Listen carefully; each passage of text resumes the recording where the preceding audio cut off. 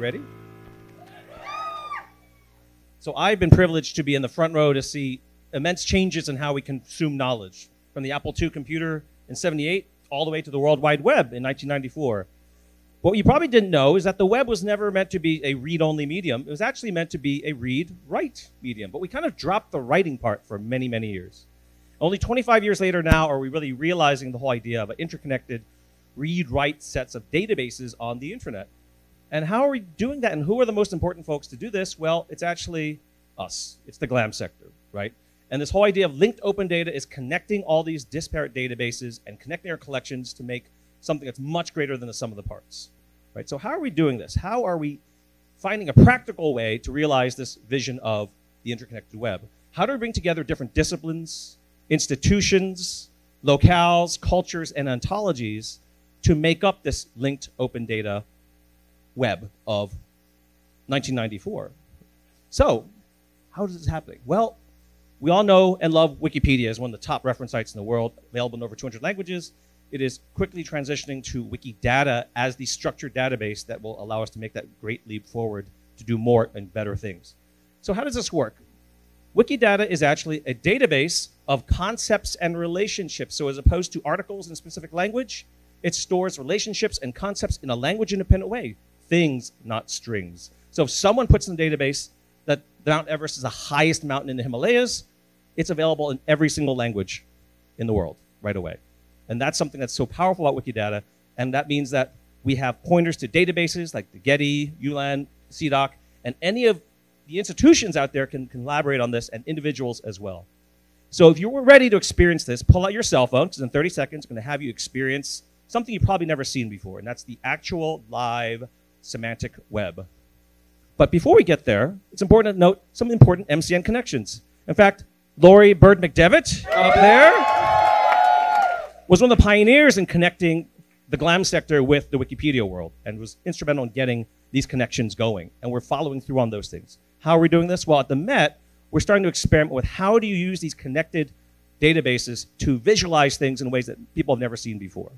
So we're looking at all these different types of data, not just in the art world, but in literature, in cinema, and all these different places. So we're going to see in a second a big QR code. So if you have an iPhone, you can scan that.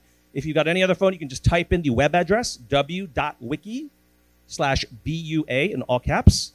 So I can see everyone scanning it. And hopefully what will pop up is a live graph of Wikidata that you see right there. This shows the impact of one artwork that is at the Met and how it is the inspiration for costumes for um, Rita Hayworth in the movie Gilda, how it has been the subject of books. And you can drag the nodes around, zoom in, zoom out. This is not a canned demo. This is not a canned animation. This is live database that you're looking at right here. And anyone can create these very easily. So this is just for one specific domain of art, cinema, and literature. But imagine all the possibilities right? So this is an interactive view of just a small fraction of the 65 million items that are in Wikidata, available in over 200 languages. And the tool I just showed you is really simple to use. And if you can think about some applications for your institution and your domain of knowledge, start thinking. So why is this interesting? Because when we start thinking about the un, underserved communities in the knowledge sector, women scientists, indigenous cultures, historically un, underrepresented groups, if you can get Wikidata items about them, you can start weaving stories in the data. Right? This is just a great example of just in four, three years, we've gotten a lot more information about the global south. In South Africa, I'm sorry, South America, Africa, and India, in just three years, we've moved so much more information into Wikidata that you can actually query and do interesting things. So Nina Simon always talks about this idea of trying to go from the contributory stage to the collaborative stage to the elusive co-creative stage with your audience. And I will contend that Wikidata is the thing that gets us there right? It's not just contributing a photo or article editing as a collaborative act. It's actually using these tools to create and weave new stories that have never been created before, and you're engaging your audience in new ways of storytelling. And these tools are getting more powerful every day. So, what are we going to do about this as a community? Well, we want libraries, archives, museums, historical societies, scientific organizations to join in and create more tools. Link your collections to Wikidata, experiment with these things, see the power of connecting your collections to the global network of connections out there. At the Smithsonian the other day, we made an item in Wikidata for a woman scientist that had never been covered before. It showed up in Google 10 minutes later.